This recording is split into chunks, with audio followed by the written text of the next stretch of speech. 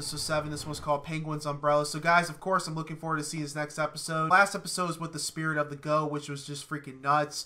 Uh, it's basically this lady hypnotizing, uh, you know, certain people, and to basically do like her dirty work or whatever he, she was trying to prove. They're basically like doing the exact same way as you know whatever Harvey encountered ten years ago. So he when Harvey encountered the first guy, there are certain things that he you know he's done, and then when they encountered the second guy, which is like the janitor, I think, uh, he did the exact same thing. Like and Harvey already knew what the whole thing was with the spirit of the goat. And of course, you know, Harvey figured out it was the uh, the lady at the end of the episode. But yeah, Harvey did kill the first spirit of the goat.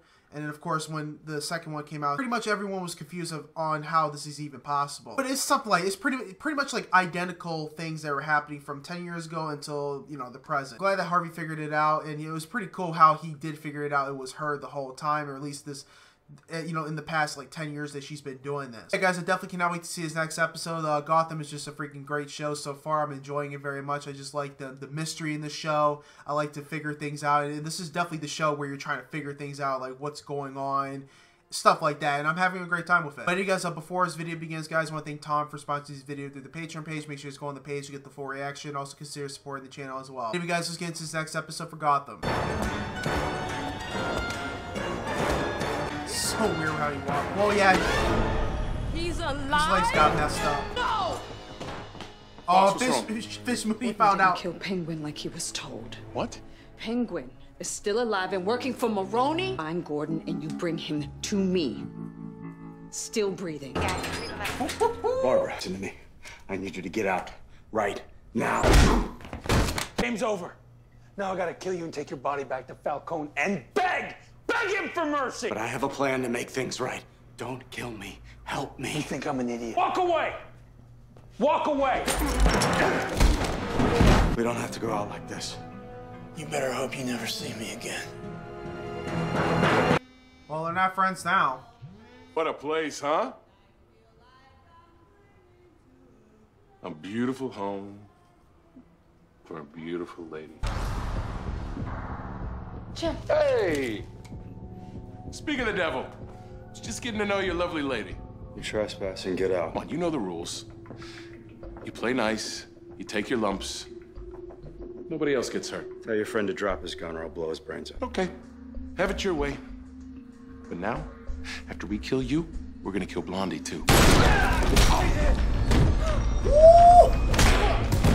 He was not playing. Go. Oh, here's Victor. Here we go. Hello, everyone.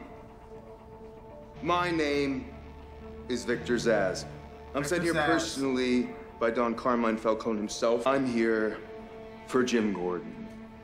Only him. Everybody else, mind your business and we're cool. Jim! Like, good luck. Hi, Jim. Relax. I'm supposed to take you in alive. El Falcone will talk, but not today. Don't be that way. There are 50 cops in here. Try something. Everybody out. Please? They're gonna move. Cowards. Cowards. He's the only one that can stand up. How now, Jim?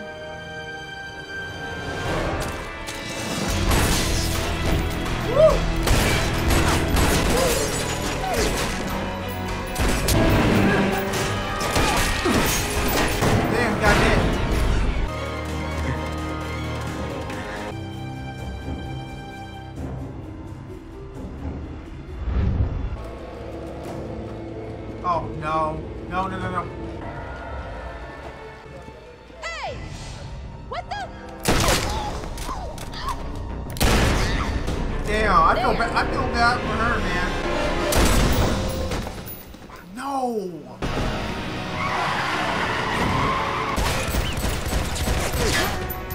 Oh, they came to save him? You alright? Hell yeah. Thank God. Okay, that was epic. Oh, she's. Dude, I knew she was dead, man. I feel bad for her. This is about tradition, values. Snitches get stitches. That's how it's always been.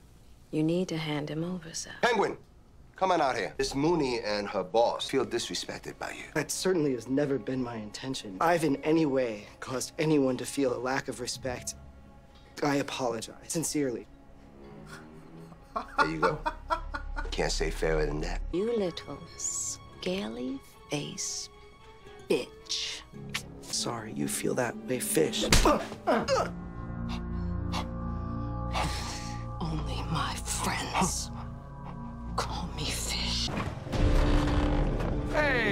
Sisters.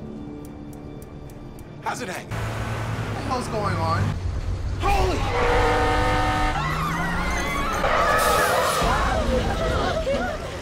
Did he really do that? Tell your boss Falcone won't let any of Maroni's trucks over the bridge. Not until he gives up Penguin. So listen, you gotta get hurt a little. You want a beating or a bullet? Tell him it's serious. No problem. Eh, you know what? I promised I would find your parents' killer. I'm not sure I'm going to be able to keep that promise. It's a long story, but I'm kind of in a tight spot. Stop treating me like a child. Explain. Bruce, you are a child. You don't need to know. You expect to die! I'd like to know why. Is it connected to my parents' murder? Yes, it's all connected. Here on in, I have to go it alone. I don't want anyone else caught up in this. I have to go. You can hardly walk. I'll be fine. Aww.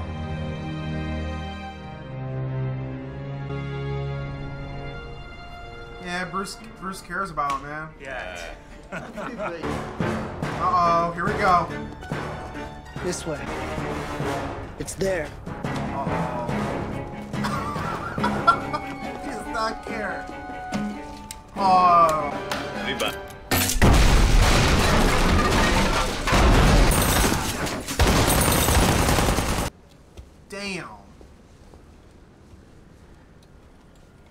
Told you. Easy as pie. Very clever. I sense a sarcastic and hostile edge to your tone. Hostile? Damn, see, I. Got that right. For you, it's money. You love money. More than power, and respect, or a skinflint, Mr. Carbone. A cheapskate. What are you guys playing at? Let me go. Sorry, Frankie. Consequently, you don't pay your people enough. It is a sad you don't fact. No. That there is no loyalty among thieves. The simple offer of a substantial pay raise is all it took to sway these fine men. Your greatest passion becomes your greatest weakness. Damn. like what? He looked at him like, why'd you kiss him? My good friend, today is a sad day. Nikolai was like a son to me. Your little man there is obviously very valuable to you. You give us something in return. Like such as what? One of your warehouses on the river, maybe. That's not gonna work. I mean, I like this fella, but we're talking about a warehouse on the river. Yeah, I'll give you Indian Hill. I'm not familiar with the name. It's In Arkham. It's a toxic waste dump on top of an Indian burial ground. It's worthless. Nothing is worth something. We'll take it.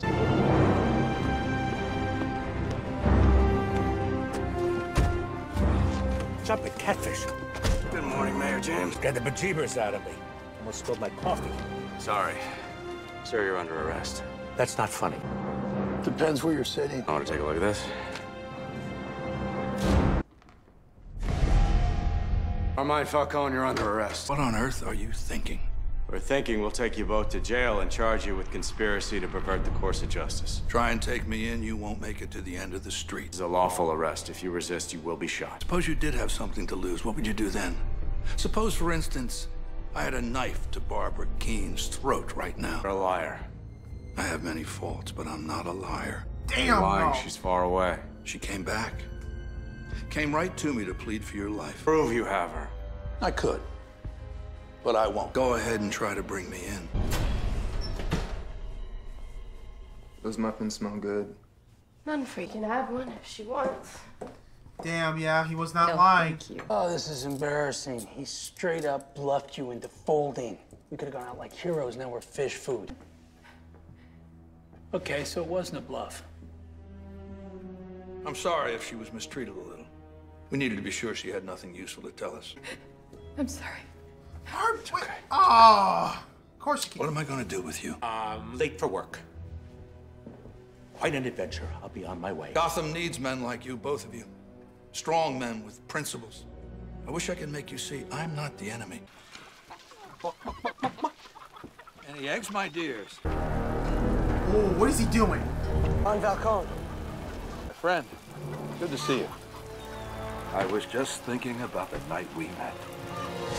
He's damn smart. Cut him down. What? Cobblepot, is it? What can you tell me before you go? Indeed, I can tell a secret of great value to you. If you grant me one last request. Which is what? Give the job of killing me to James Gordon. Why him? The only man under your sway who has a conscience. The only one who might be persuaded to spare my life. You agree. And Gordon spares me. Then I will become your snitch. For life. What is the valuable secret? Oh, yes. Shmoony and Nikolai the Russian will pretend to hate each other. They're lovers. And Fish is pushing Nikolai to take your place. That is a good secret. But I think we're making a mistake letting Gordon live. Thank you so much for sparing him. I appreciate the favor. He'll see the light. One way or another, I guarantee it. Wow, Penguin's the one that spared him. Or got at least Falcone to spare him. Dude, I should not be even surprised that Falcone knows like pretty much everything that's going on with, you know, definitely uh, Fish Mooney, uh, uh, Nikolai, uh, all these people. He knows pretty much everything. He knew he was going to kill Penguin, but then when Penguin pleaded to him, like, hey, I could be your snitch, he let him live, and of course, let him prove to him that, hey, I'm on your side. So yeah, basically, you know, Penguin's been pretending, you know, under Maroni to be like his friend or whatever, and you know, basically to get to the top of, you know, be you know, of his trust, and he did. He, you know, Maroni does trust uh, uh, Penguin. So I really thought Penguin was doing this on his own. I really thought that. I really thought he was doing this on his own thing, but he's under uh, Falcone's uh, power at this point. So, but uh, Penguin's been pretty much under Falcone this whole time, and I'm just like, what? Yo, this dude Falcone is just so freaking smart. Like, you just he's always like two steps ahead of you, and you don't even know it. And that's pretty much what this episode proved right there. That he was already ahead of the game. So yeah, Falcone already has a plan to basically get rid of uh, Maroni. Uh, you know, I don't know what he's gonna do with Fish Mooney. I have no idea. I don't know what he's, you know, he's gonna do to everyone, but he already has a plan in place. He does, and and basically at the end of the episode, uh, Penguin did help uh, get Gordon's uh, life spared, and I'm really surprised about that. When uh, definitely when he tried to arrest uh, Falcone and the mayor, even Victor was like, "Wait, why are you letting him live?" And of course, he told him to be quiet because he already has his plan in place. Dude, this episode is really, really freaking good, and I definitely cannot wait to see more of this. Uh, this is great. I love this episode. But anyway, guys, uh, please leave a like and a comment on the video. Make sure you go on the Patreon page to get the full reaction. Also, consider supporting the channel as well. Anyway, guys, hope you guys have a wonderful day. I'll see you guys next Gotham.